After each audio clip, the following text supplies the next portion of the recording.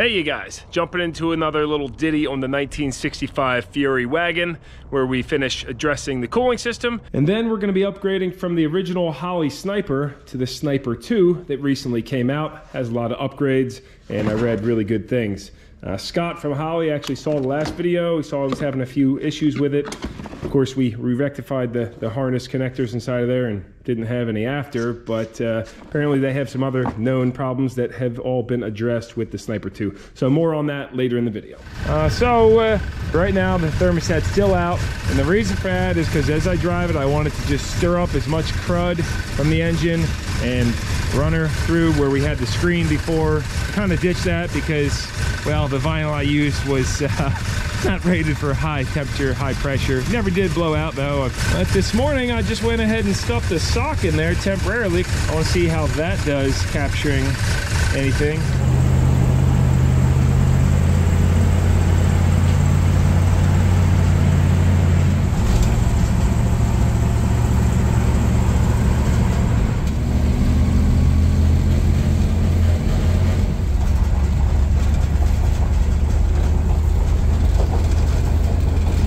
went and drove 75 miles round trip to pick up these card cabinets.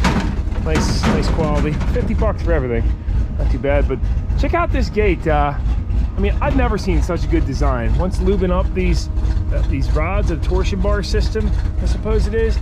It's uh, it's amazing. Look, one finger. I mean, this thing is so ahead of its time. I just can't even get over it. But beneath this cover, I had to get it off because these latches were completely rusted solid in the uh, sleeves in there. But there was uh, huge mouse nests under here, just completely. Oh,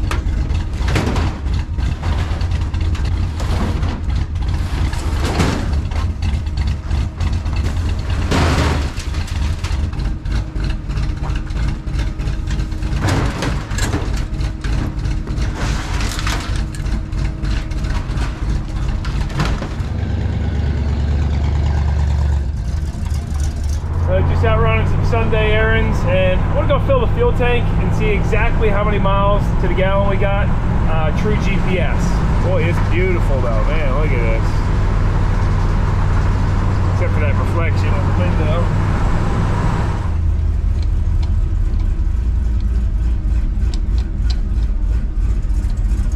8.3 gallons and we did a total GPS 79 miles so 9.5 miles to the gallon and that was going easy where we went it was doing like 45 mile an hour country roads that's uh, it's pretty bad. It's the best we're gonna get. It's nine and a half miles to the gallon. Ugh. oh no. Look at that.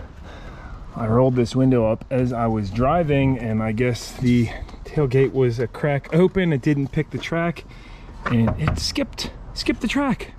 I'm so lucky that didn't break going down the road. We got lucky there. A few drives later let's see what this sock is looking like and if it was uh, holding up or blowing through it didn't blow through let's take a look inside oh yeah this is great oh man I think that's my one magnet, right? Yeah. But look at that. The sock is working awesome. So, you know, a lot of people comment on the last video about how I need to run a like CLR through here, Cascade or one of the other many, many things. But I'm like, no, we need to just get rid of this stuff first and then we can worry about flushing it. This is just and uh, some people were saying it's casting sand, but no, it's it's rust. And as I drive this harder, I mean, I know the water continues causing corrosion, but look, there's there's huge chunks of stuff. Oh, this block has got to be getting thin inside. Let's just keep going to town with it. The sock trick works amazing. for the sock, just stuff on in here. And you know, a stocking or something could work too, but white sock seems to do pretty good. But in addition to that, I got these little magnets, these egg magnets. And I was gonna get like a magnetic ball to just roll across Originally I was thinking multiple balls, but then realized they would stick to each other. So I think I'll just leave this whole rack in here and then we can pull it out at a later time. And that way, uh, you know, this might shift across the radiator what have you. And that way it'll pick up anything else. We'll see what's actually making it past the sock because right now it's yeah There you go. Let that roll around up there. and by the way, each time I'm draining this, I am pulling the plugs out of the block too and flushing that out with a hose each time. It's uh, just going ham, you know. You would think this sock would restrict it too much and blow out, but as you saw, it didn't. Of course, it still leaks a little bit, but a little trickle ain't hurt nothing. Now look what just came in the mail. The coolant system filter is like $80 for these, which I think is way overpriced. And it's basically a larger version of those fuel filters that everybody hates, the, the glass thread-on filters and they what do they say uh, they start more fires than ex-wives or something there about but I'll show you what it looks like on the inside. It's got this heavy-duty glass. Seems to be glass anyway. Yeah definitely not plastic. And then these aluminum threads. So that's kind of what I don't like about this. I, I would like to see this all stainless because I don't, you know, the aluminum's going to corrode and seize into this and it's just, these are aluminum ends too. So I'll rock it for now. We'll see what it does. This was the most popular choice that you guys recommended. I mean, there was everybody's like for vinegar, metal rescue, evapo rust, all sorts of different things. But the CLR is pretty cheap. I'll go with a gallon of it. And I know that's not exactly going to be 50-50, but hey, I think that'll do it. We'll run there, run it like that for a few days, put the inline filter, probably put a new sock into, run that, and see if it catches anything that the inline filter doesn't. I ditched the flex hose and that'll do it. We got the sock restrictor right there. And now fill it up with a gallon of CLR.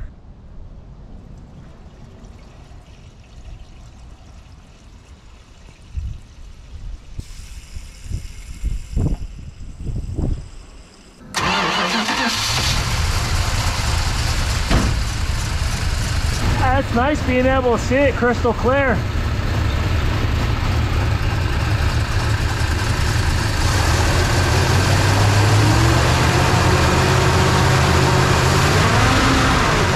Wow, that is flowing a lot. Definitely aerating the whole system.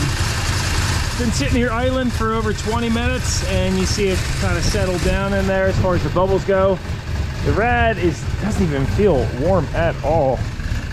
Uh, so with no thermostat, you see it's just not warming up. Of course, it's only 50 degrees out today, and we're at 130 degrees on the coolant temp. We're about 12 hours later, decided to drain out the CLR because I noticed like where it's spilling out. I mean, it's it's getting all solidified and you know, it's kind of kind of nasty stuff. So that's what the, the filter looks like. I don't know how well you can see in there. But I'll get that all cleaned out, drain the block, flush it a few times, get antifreeze in it, and I suppose we'll leave the screen on for a while. The sock didn't have too much crud. But uh, yeah, I didn't want to let it go for several days in case it, you know, corrodes the aluminum really bad or something. With hot water on the garden hose, I did three full rinses on this and then uh, left the block plugs out and was running it the bunch so we got all that CLR out Gonna be putting the thermostat back in. Here's a look inside of the system now. You know, when we originally worked on this car, it was so rusty and crusty in there. It's looking better. Uh, now 180 thermostat going in. I guess we still didn't get to answer the question of uh, does it run cooler without the thermostat? The answer is yes. On every street car, if you run without thermostat it's pretty much never going to get up to operating temperature but it's it's completely case by case like if you're doing circle track racing and you're red line the, the whole time and you have no thermostat yeah maybe that extra flow uh, could cause some issues and cause cavitation in the block and the, the, block to get hotter. But in this case, I, I took this down the highway today. It didn't get above 140 on the highway and come to a stoplight, let it idle or shut it off, let uh, you know the temperature equalize. Didn't go above that. So the system's clean, it's operating great. Winter's here, we got to get her up to temperature. So all right, stuff that, and then get uh, get her full of antifreeze, corrosion protection. And with that thermostat in now, you can see with it cold, there's no flow, even if I rev it.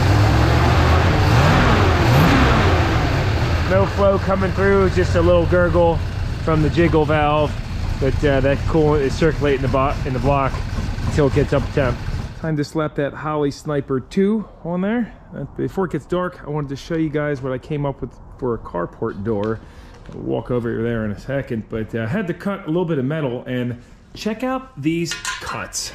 I was using a metal circular saw that I just purchased and best investment ever. I mean, look at that. Look at the angles and there's no burrs.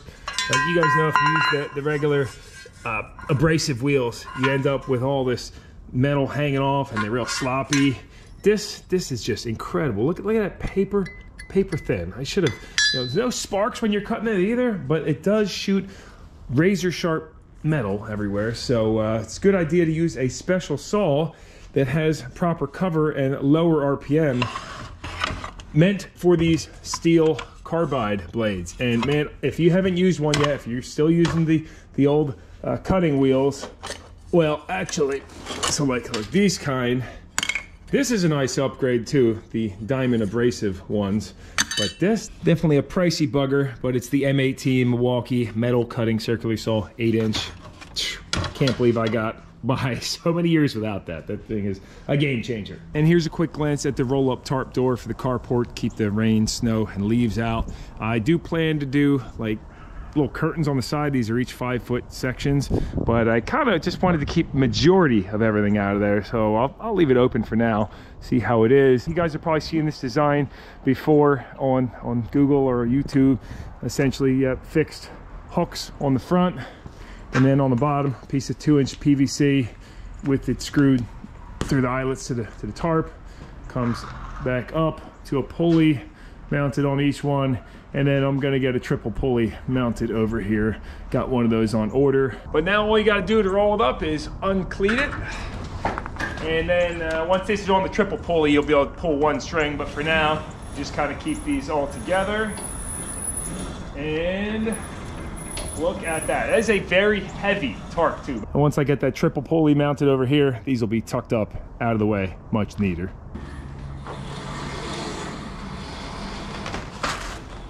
I just wanted to show you guys that since in a previous video when I mentioned I wanted to put a cover over this, you guys commented a lot of really good ideas. I also like that the tarp is not dragging on the ground and with the PVC pipe you have a little bit of weight down there so it should hold up. We'll see how it does in the wind. I think it's important for it to be able to breathe too with the sides open. And now let's take a look at this Holley Sniper 2 EFI ecosystem. Comes with a quick start manual, full color. And this is actually the upgrade kit. So if you already have an existing classic sniper, then you don't have to get a new O2 sensor, a fuel pump, coolant temp sensor, main harness, all of that is reused with this one. A few notable upgrades that I was reading about is it uses a magnetic TPS, throttle position sensor. It has redesigned injector connectors, which I suppose we'll pop one of these covers off, take a look at them. The harness is hidden inside, instead of coming out on both sides and tucking underneath, it just comes out of the back. The crossover tube is cast in. You see for the fuel crossover on the old one, there was a rubber hose. Oh, just one more thing to fail and potentially leak. By the way, I had mentioned before I had oil residue in the back of this lifter valley and kind of getting all over everything. Finally found the leak. I just looked down and sure enough there's a uh, hairline crack, I guess like a stress crack in this cover down here. So I'll get a new one of those, but just silicone it up for now because I'm thinking I want to get a dual plane intake for this too. Now while they appear similar, a side-by-side -side reveals that the Sniper 2 is fully redesigned. And look at all the wiring I have to do it is plug and play with this harness. Uh, they, you do need to use a new handheld as well because the M8 connector, uh, the old one doesn't have that style, and this gets plugged directly into this harness. I was reading the instructions, make sure not to plug it into the, uh, the adapter harness. They say it takes one hour or less if you're upgrading from the classic sniper system, and I can see why now. I'm gonna get going on that. Now, by the way, these are all made in Bowling Green, Kentucky, manufactured and tested there. Oh wait, let's look at these connectors in here. A 9 64ths Allen to get the, the hex off. You can see the injectors. There we go. Okay, so similar design to the last one, but let's check out these uh, connectors. All right, better action there, feel tight. Yes, that is fully redesigned. You remember what the last ones looked like? They were a joke. These ones have nice quality O-rings on them. and they uh, the terminal pins are actually supported. So that's uh, not going to have any issues here. Listen to that, snaps right in. Do have one, uh, I don't know what this, this gray is for. i have to look in the instructions. That's for something else that I don't need right now. Good stuff. Now O-rings are oiled up and this crossover tube, I'm gonna put a little dab of grease around that O-ring. You know, the reason this would start leaking in the future would be if any salt or moisture gets in here and causes corrosion on the aluminum. I could see that leaking leaking gas. But uh, you know, that's if you're in the rust region, driving around on the salt anyway. I just throw some grease all around that, have no problem in the future. I like it. One last thing to check before I pull the old sniper off is boot time and startup time. Oh, here's how long it takes with the key on.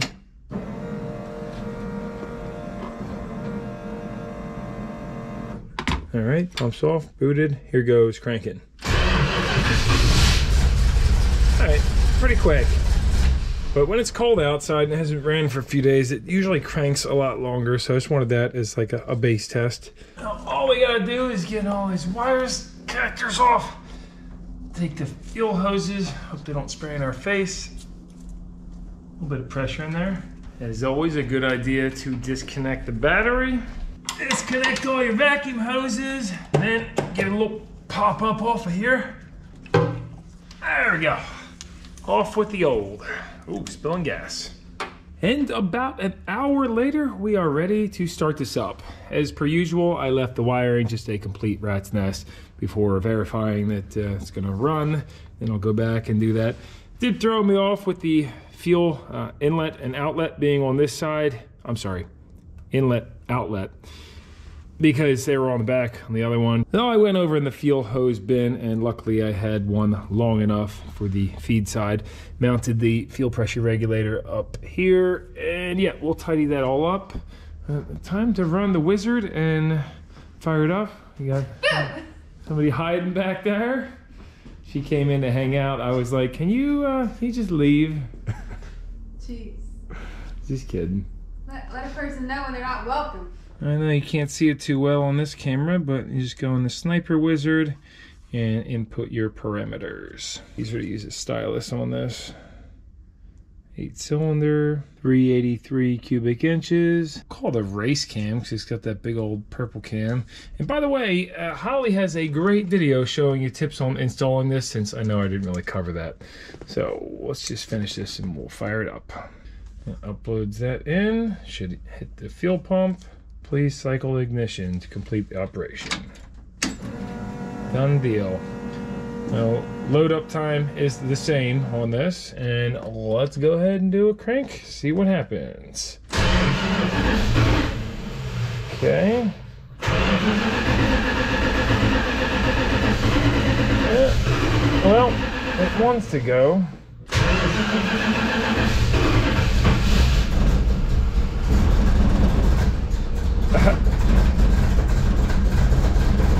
Uh, there it is. It's gonna have some learning to do because it is just dumping fuel. At least all four injectors are working this time.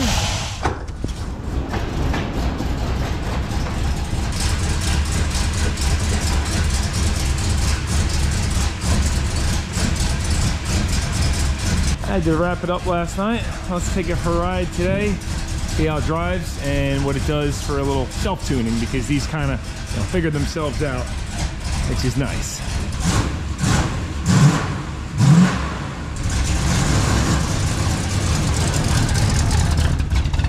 And it looks like Jennifer's coming. She's probably not gonna be able to open that door though. She's, oh, you got it. These doors are very hard to open in the uh, winter time. Oh, let me get that pin.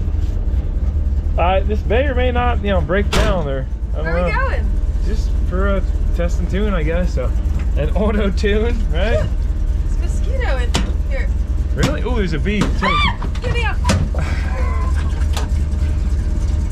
okay, come on, buddy. It's just a honeybee. It's a warm day out. All right, he's going, babe. Oh, oh there's another one. Not, they like the color. No, you're fine. There's just honeybees, babe. Ba- babe, they're just honeybees. She's allergic to bees. They- Allergic to everything. They're all gone. There was only two of them. There's no nest in here. They were just coming from the hive in the back. We got we got bees out back, honeybees. They're friendly. It's coming out because it's sunny, and it's what? It's like 50 degrees today. All right, good to go. Okay, go. Hmm. We're here. It's got some learning to do. We're up to 184. It was sitting here idling forever. Let's see what the air fuel ratio does when I put it into gear. It seems to be. Look at that. I guess we could try turning the idle up some. Yeah, we'll do that. Just for now. So you just go over to tuning, basic, basic idle. Turn this up to like, you know, 850. Let's do. Now we put it in gear. No stall. It's trying to figure itself out. That's what it's doing.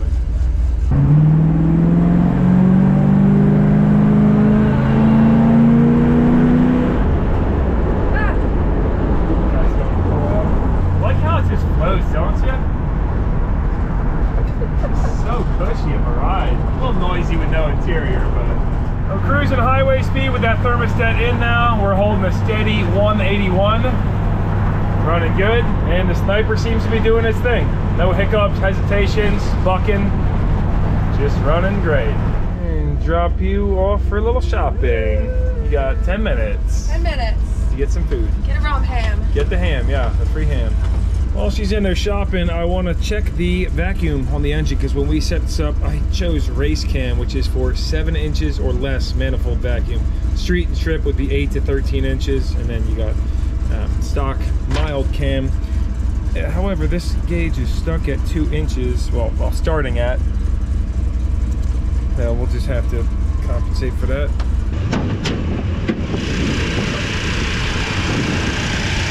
Uh, the right stuff has kind of sealed that leak. A little bit of oil residue on top. I'll get a new cover on order, or, or we could just weld that one, but I bet you it's so paper thin. And it's, how much could one of those be? Dirt cheap, I'm sure. So we got manifold vacuum off the back, runs over to our little vacuum tank. And wow, 10 inches, so more like 8 inches. That is fairly low.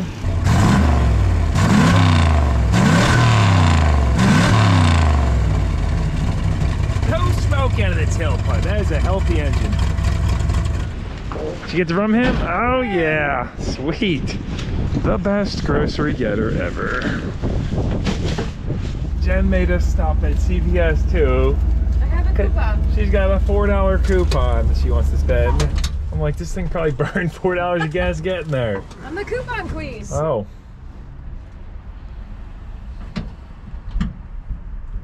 At doors. Don't break your thumb. I got you. How much was the junkie? Was uh, $5, so they got a dollar out of me. Oh, all right, that's not too bad. Let's just do one more startup on this. Uh, I'll let it fully boot this time. See if that makes any difference. Since that's what we did on the Sniper 1. Can we talk about the CVS receipts? Does anybody want to talk about what's going on here? Yeah, around the same. No, no gas pedal, no nothing.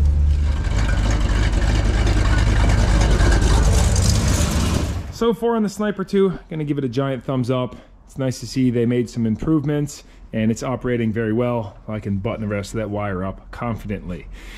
Next thing on the list is ditching the Flexifan. Uh, reading the comments and you guys said these can get very brittle and just kind of blow apart over time. Know, it does seem to work fine and it's reliable since there's no clutch on it, but I did get this OEM Mopar from the junkyard.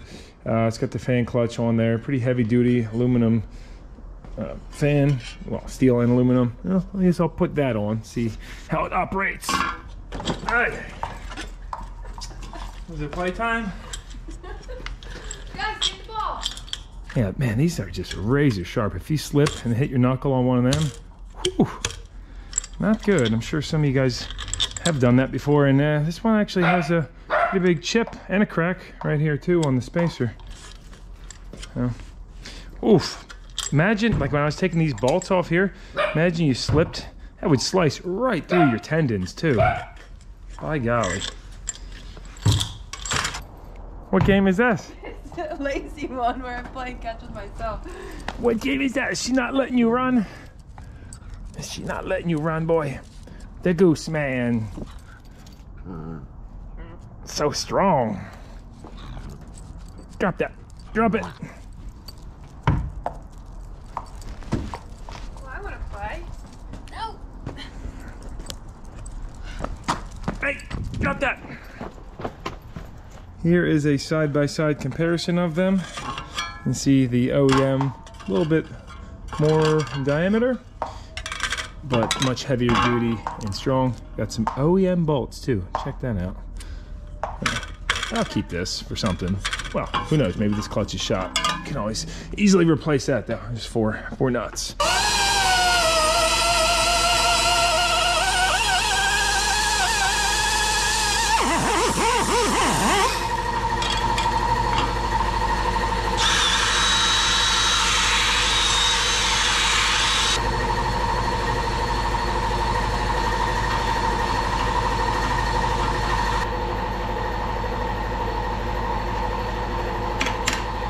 And we've got, oh, just enough clearance between the trans lines. Eh, a little bit of play in that. Oh well, should be good, right? You guys know I have pretty bad luck with radiators and fans in past videos.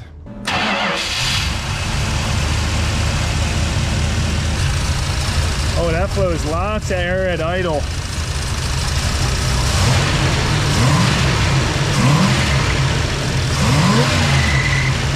Belt squeal, I gotta tighten it up.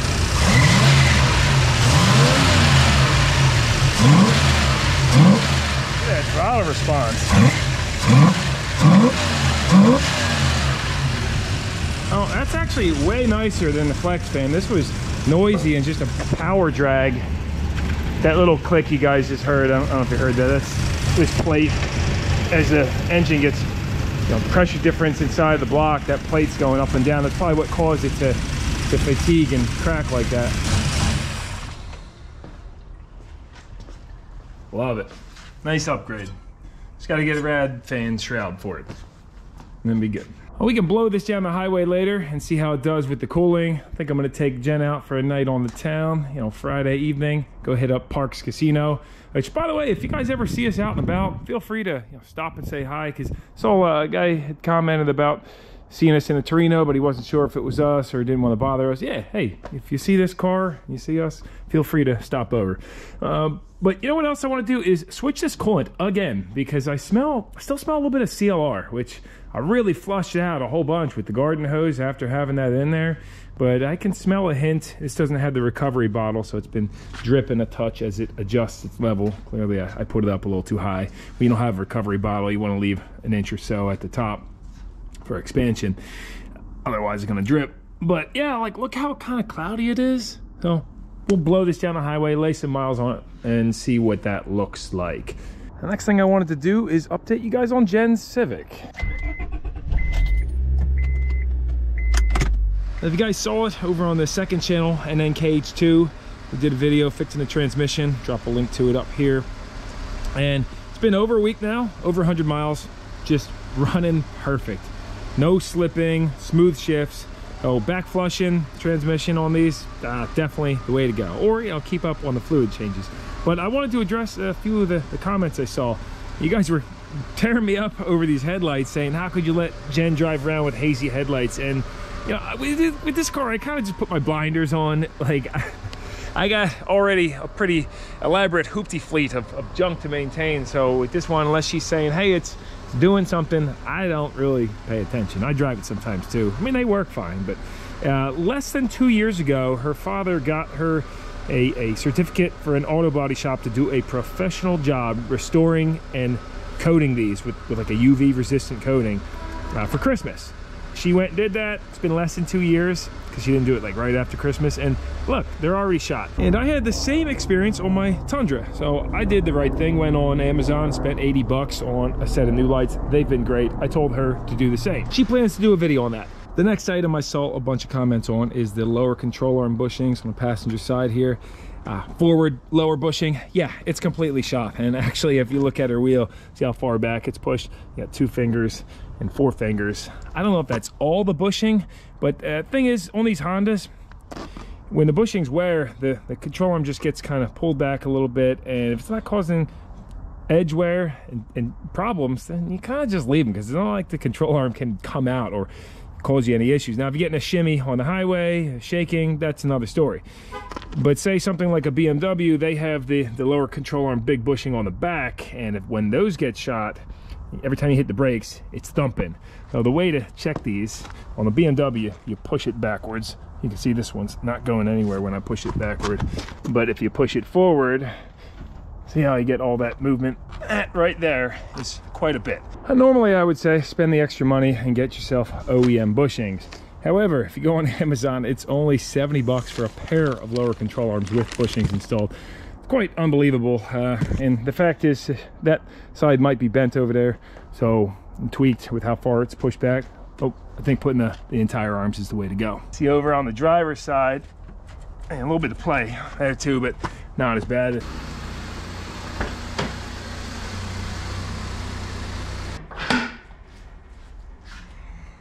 Over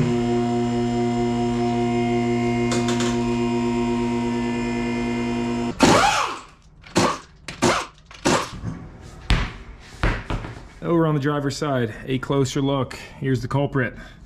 Again, just replace that bushing if this is your car because this you're better off keeping the better metal on these factory control arms unless you think one might be bent. But you probably get an OEM bushing for maybe 30, 40 bucks, I'd imagine, and an aftermarket one, like 10 bucks on online.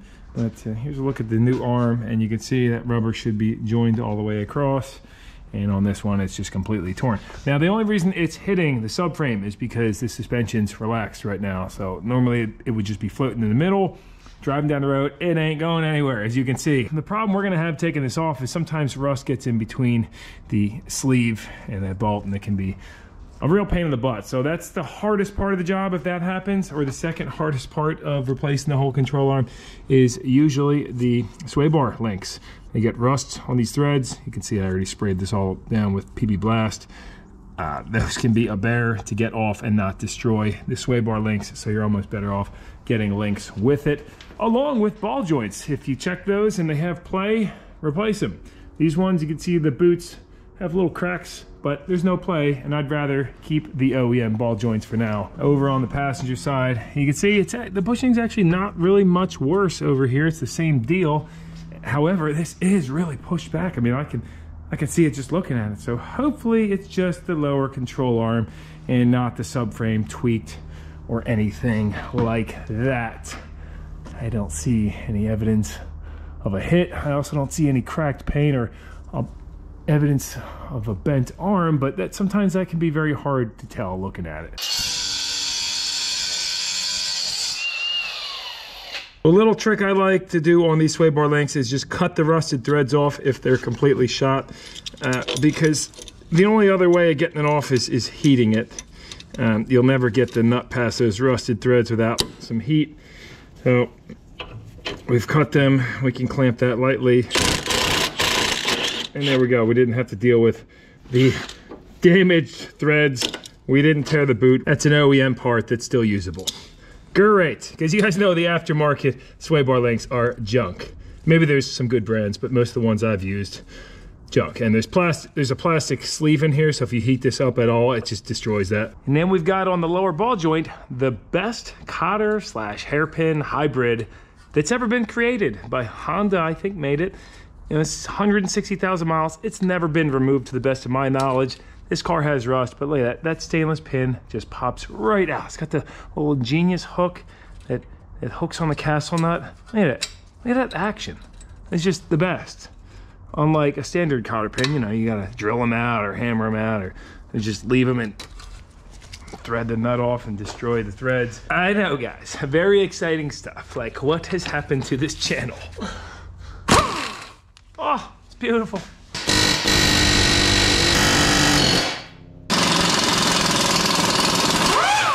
That the bolt came out, wasn't rusted to the sleeve.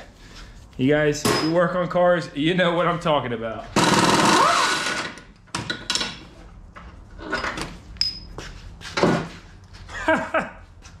Unbelievable.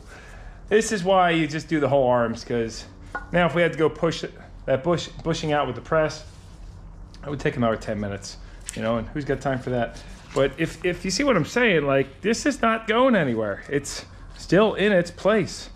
It's torn, but it's not gonna harm anything. So the fact that you can fail state inspection here in Pennsylvania for a torn bushing, I don't like it.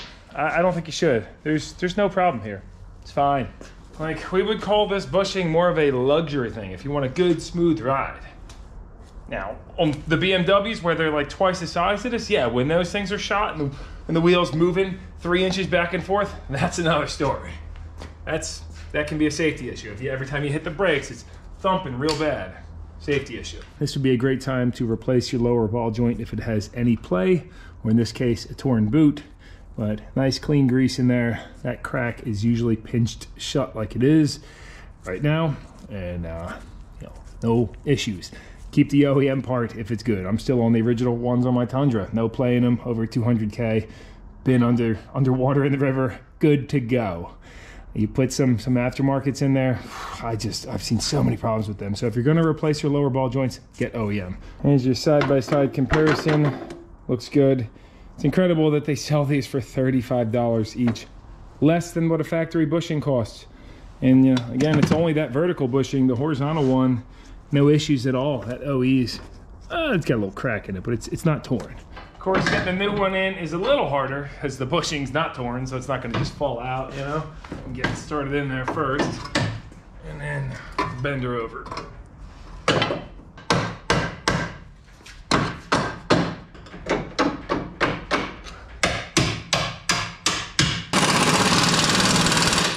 Yeah, run her home. And then you can run that rear horizontal bushing bolt down. Just kidding. Loosen it back up. Touch and bring this up to ride height. Yes, most of you guys know, but when it comes to the horizontal bushings, always bring it up to ride height. Otherwise, you're gonna have premature uh, bushing failure. You wanna torque that one down. And the sleeve is set up with the suspension at the ride height. Just gotta make sure to take that measurement before you lift the car. And then you can zip her down. While it's jacked, we can zip down the, the ball joint lightly because I always like to hand torque ball joints. These get about 50 pounds thereabout. I think it's like 40 something to 51, right? Basically until you can line that keyway up, or I'm sorry, the, the cotter pin hole keyway. Perfectly lined up right there at 50 foot pounds. And then slip your lock pin in, whatever these are called, hairpins, cotter pins. I don't know, but they're great.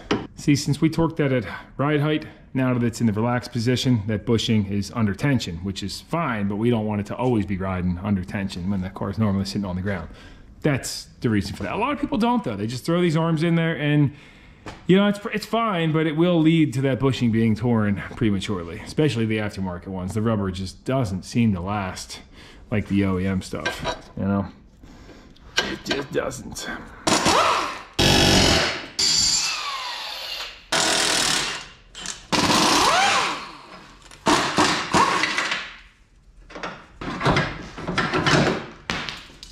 There's a side-by-side on the arm from the passenger that we thought was bent, but it doesn't seem to be looking at it over top. I was measuring it too. They both check out to be identical, although they are not completely identical because uh, this one has some extra metal on the inside. I can see through that hole. This, this guy's hollow, and you see how that's like pretty skinny where it mounts to the edge.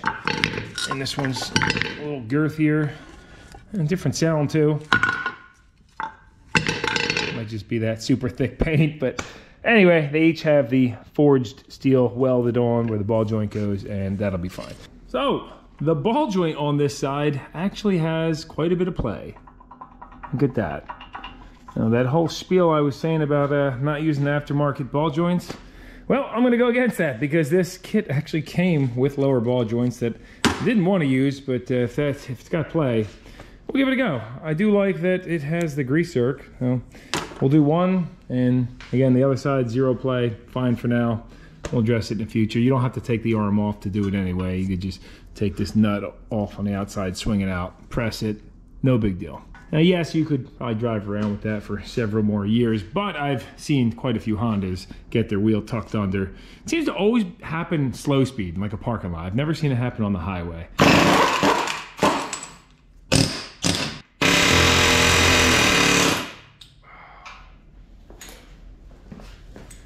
Air hammer, best tool ever. It's funny, a guy I used to work with, Joe was his name. They, they took his air hammer away from him because he was breaking so much stuff. He just used it for everything. And uh, it can get the job done, but it can also cause a lot of damage. Like if you, you could break a knuckle easily or damage it. You gotta be careful.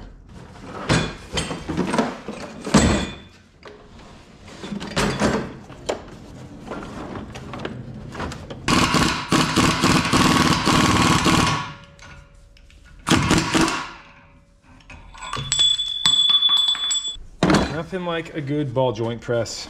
This is the OTC and kind of a funny story. When I bought this, I've had this for many years, but uh, the one I had prior was like a maybe Harbor Freight or wherever I got it, it, it bent on me. It was an overseas one, and the first time I used it, it just just opened up. I was like, man, oh, returned it actually, and then I went to Retool was the name of the store. I was hoping to get like a nice quality used one or whatever, and they had a brand new OTC. Forget the price; it was reasonable. Uh, made in USA. I was like, yeah, I'll take it. And so he says, oh, I got one brand new in box in the back. You can take that. I'm like, all right, cool.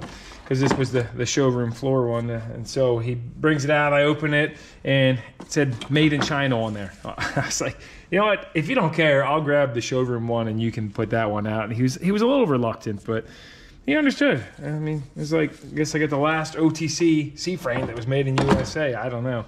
And then these are all just adapters I added. I, I cut the, I cut it out so I could add those. Great kit. We got one fresh ball joint. Drop the grease zerk in. And it should have an angled one actually. How the heck are you gonna grease that? And go my grease kit, get an angled one. Because the axle's sitting right there, you know? Unless you have the angled head. And uh, these aftermarket ones come with a retaining ring too. Probably just in case the bore is worn out inside the knuckle or something. You know, you have, I don't want to have ones popping out. These ring pliers are too small though. There we go. That is more like it. Let's look at that new bushing. That'll tear in about a year, maybe less. And that final step is to torque the axle. Always a good idea to not whack them down with a gun. Use a torque wrench because otherwise you can damage the bearings.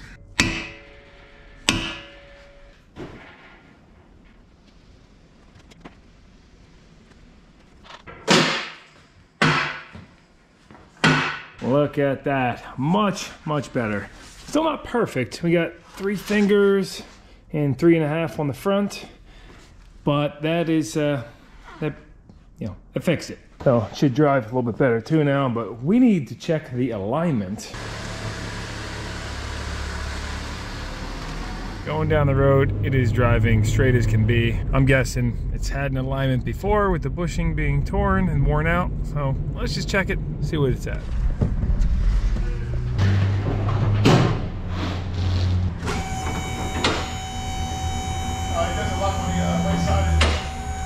Oh, no?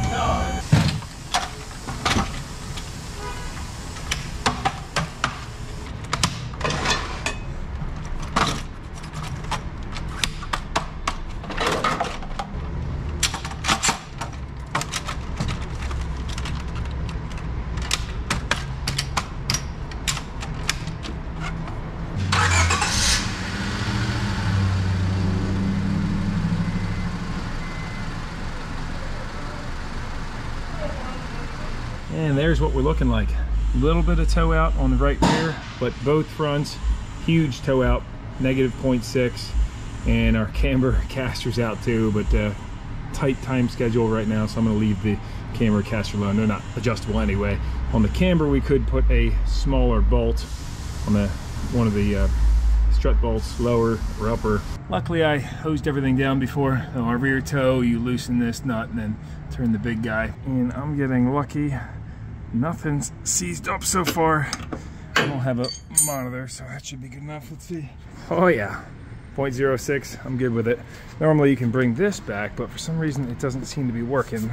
And you see adjusting the rear actually changed the front toe specs as well. Now we're negative 0.49, negative 0.78. And on these Hondas, the tie rod end is all the way up top. So luckily we had sprayed that and I made sure it moved. It's 24 millimeter and 14, or you can get a 19 on there too, but a little harder to get to it than the ones down here, you know.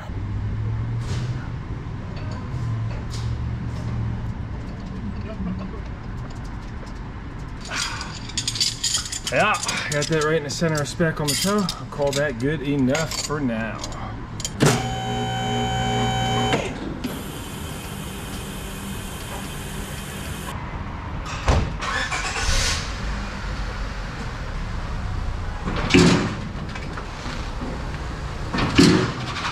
And after the alignment, driving nice and straight.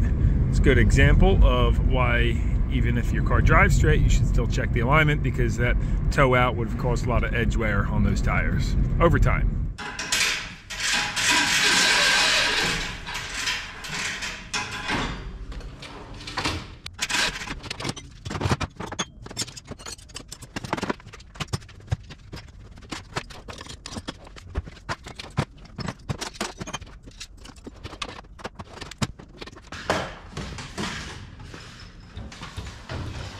Date night in the Fury.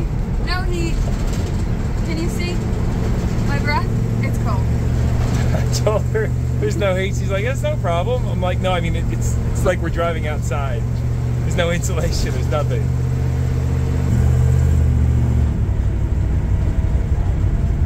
Yeah, she looks good parked on the main street, even if it's wintertime. Stopping in my buddy's place, uh, the Yardley General and the Yardley Cellar too. It's actually uh, childhood friends there in this cool little bar, so great spot if you're ever in town.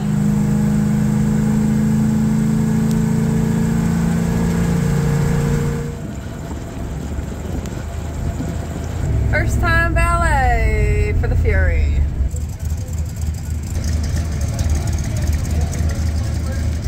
It's the first time I've ever valeted. Let's see what you think on it. This is Scooby Doo right here. yeah, man.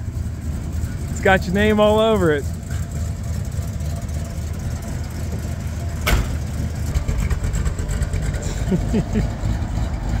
oh, do we got a brake light out? Did you tell him about reverse? He shouldn't have to go in reverse. He's gonna just park it there.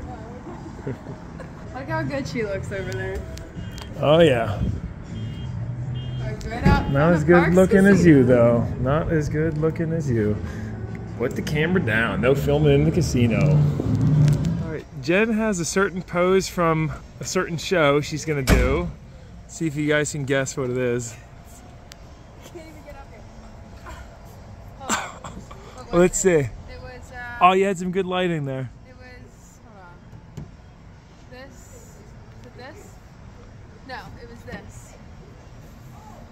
You got it. Love it. That's perfect. All right, let's get out of here before they kick us out. You got some some spectators.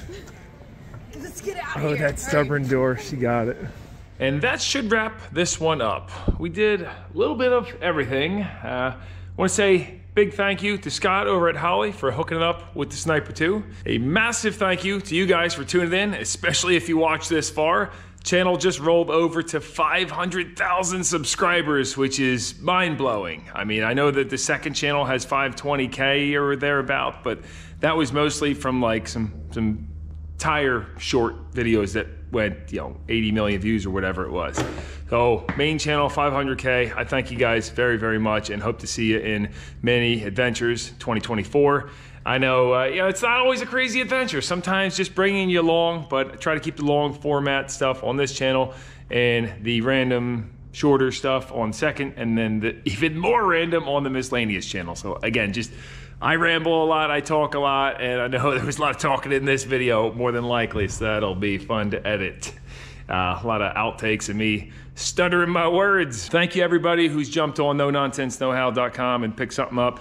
The 2023 Christmas ornaments sold out. So thank you guys very much for that support. Can't think of too much else to mention. Oh, I'm gonna go ahead, change out that Fury coolant one last time. System's nice and clean and go put my triple pulley on the carport tarp that just came in the mail. That'll be nice.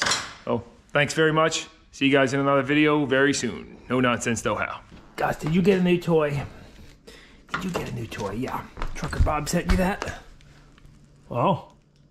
he's gonna bark. So try to get it. Try to get it.